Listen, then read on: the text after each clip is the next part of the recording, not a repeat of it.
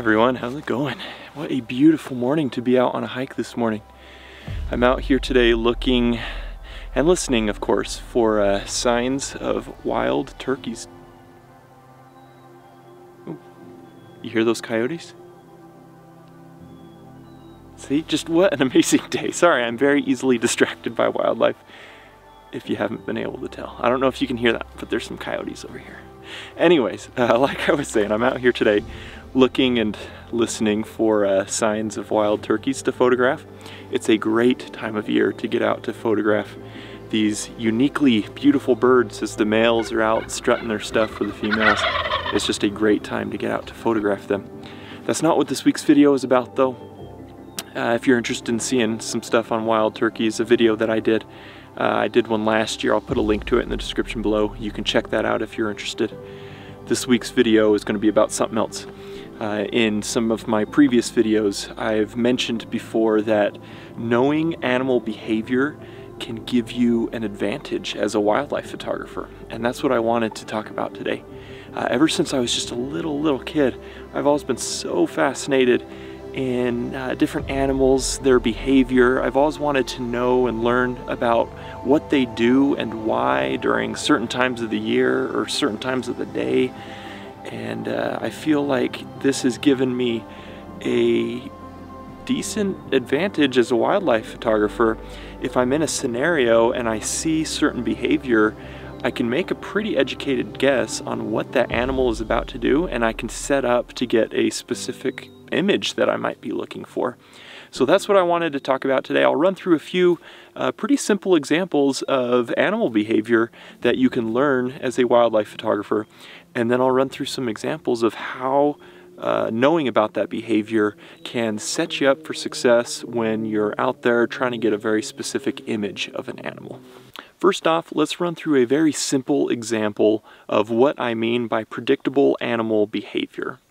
So when certain species of ungulates or hoofed mammals are ready to bed down, they'll generally scrape at the ground first and then they bed down in that spot. This is probably the most simple example of predictable animal behavior. So it's things like this that I'll be talking about in today's video. I'll run through again these examples of what the animal does, what it's probably going to do directly after, and how you can set up to get a picture that way. If you've watched some of my recent videos, you may have noticed that I've been spending a lot of time photographing different species of ducks. It's a wonderful time of year to photograph these beautiful birds as they're migrating through various areas. And it's been so good for me to learn more uh, duck behavior, different cues that I can use. That rhymes. Anyways, um, different cues that I can then use to get the pictures that I'm after. And where I don't have a huge background uh, with knowing bird behavior, different things like that, it's just been a great opportunity for me to learn these different behaviors. I've been spending a lot of time with different species of diving ducks. Uh, these ducks, as the title implies, they'll dive into the water and uh, get their food that way. But most of these species have something in common. Uh, when they're about to dive, they slick back or compress their head feathers just ever so slightly and then they dive into the water to find food to eat. So one thing that I'll do when I'm out with these ducks is I'll watch for the individual and it's just this very slight cue that you can look for. They'll, they'll compress those feathers down and then I'll get my camera on them in hopes to get a mid-dive image. I think it's really cool if you can capture you know those ducks just mid-dive as they're heading into the water and so that's something very basic that you can watch for with ducks. Uh, as they compress those head feathers, you know that most likely it's about to dive, so get ready to get that picture. Another wonderful cue to watch for if you're out to photograph ducks is to look for the individual that's doing a lot of preening, that's splashing water up over its back and shaking it off. That's a wonderful cue to watch for because what that generally means is that it's about to flap its wings. Uh, this is behavior that ducks do when they're cleaning themselves off and then they'll fluff up their feathers, flap their wings to get rid of any debris that might be in those feathers. And so that's a cue that I watch for anytime I'm out with ducks because what an amazing picture opportunity if you can get a duck flapping its wings, you know, mid-flap, what an amazing opportunity. I was recently out photographing some American widgeons, just beautiful, beautiful birds, and I had a group of about six or seven out there, and I was just watching each individual. They were all kind of spread out, so I couldn't focus on all of them at once, and I was just watching each individual until finally I saw one of them start to preen a little bit more than the others, start to splash water over his back. So I took my focus off of this larger group that I had been watching, shifted to the one, and sure enough, within just a few seconds, he got up, flapped his wings, and just made for an awesome, beautiful scene. So that's another cue, very, very useful cue that you can use in order to get a uh, picture of a duck flapping its wings. Knowing about different species and how their behavior changes during certain times of the year is extremely helpful as a wildlife photographer. For example, I'm out here today again looking for wild turkeys to photograph.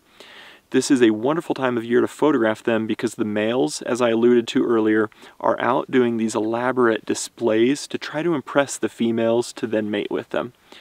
And so you can get some unique behavior during certain times of the year that you wouldn't be able to get during other times of the year. And there's so many species that do different displays during certain times of the year. So knowing about what times to find that behavior and then get out and photograph them can help immensely. Some animals as well can be a little bit more a little easier to approach during certain times of the year, which makes it easier to get pictures. That being said though, please, please respect the animals. Give them their space, even if they do seem easier to approach. Give them their space, photograph them from a distance, be as ethical as you possibly can in photographing them.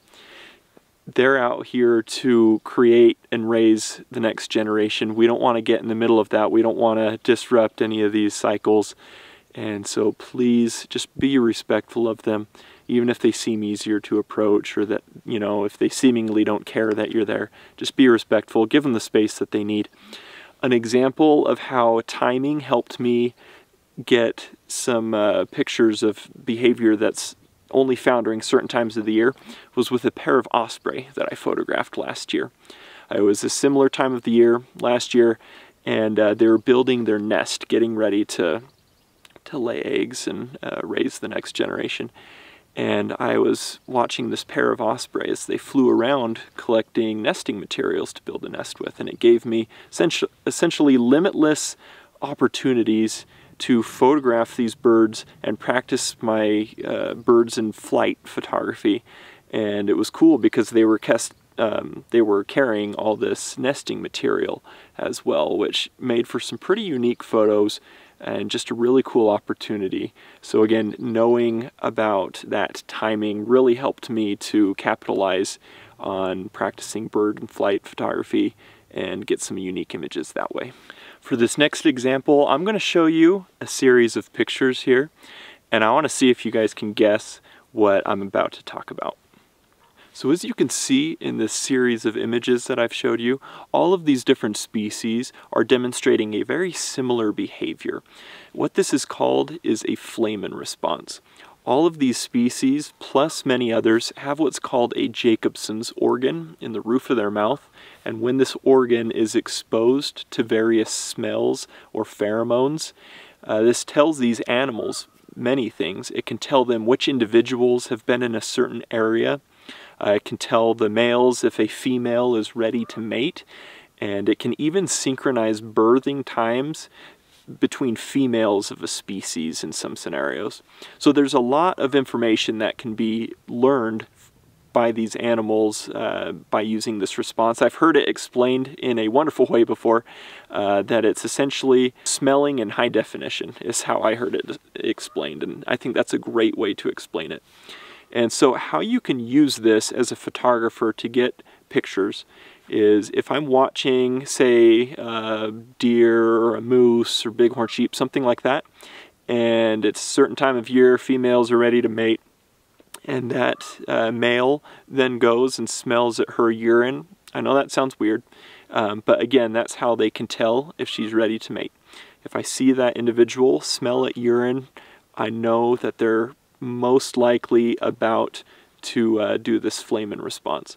And it just adds a little bit more to a picture when you're taking it. it makes it a little bit more interesting picture to look at, in my opinion. And uh, a lot of people think that it's just ungulates, just these hoofed mammals that do this response. But there are so many other species that do this as well. So it's something that I always look for when I'm watching various species. Uh, I just like to document these different species uh, as they go about doing this response. Just fascinating behavior. The whole idea behind this week's video is to uh, learn about different animal behavior and how you can use that knowledge as a wildlife photographer to make a more interesting or more engaging image to look at. But the most important thing to remember is to photograph every animal that you do as respectfully as possible. You know, there's so many different species out there and they each show signs of discomfort in a little bit different ways. Some general things that you can look for though are, uh, are ears pinned back? Is that animal stomping? Is it yawning excessively? Are there sporadic changes in behavior or movement? These are all cues that you can look for in an animal to uh, see if it's uncomfortable or to see if it's nervous at all with you being there photographing it. And please, if you ever pick up on some of these cues, if you ever find an uncomfortable animal, please just carefully and calmly back out of that area and go find something else to photograph, honestly. One of the most important tips that I can leave you guys uh, for wildlife photography and wildlife images is a comfortable animal is the best animal to photograph. If you're in a scenario and you're photographing an uncomfortable animal, there's very slight cues uh, that the trained eye can pick up on that will notice that that animal is uncomfortable and it's not it's not acting naturally. So the best animals to photograph to get the most natural looking images are comfortable animals. So please always, always photograph these animals as respectfully as possible. Make sure they're comfortable. I hope this week's video has been helpful for you guys. I hope a couple of these these points have been helpful for you and that you can use them in your photography to make a more interesting image to look at. I would love to hear from you guys. What are some of the cues that you guys look for? Some of the behavior that you guys look for when you're out photographing different species? What are some of these things that you look for to make a more interesting images? Please let me know down in the comments. I love hearing from you guys. I love learning from you guys. So uh, let me know down in the comments. I'd love to hear from you.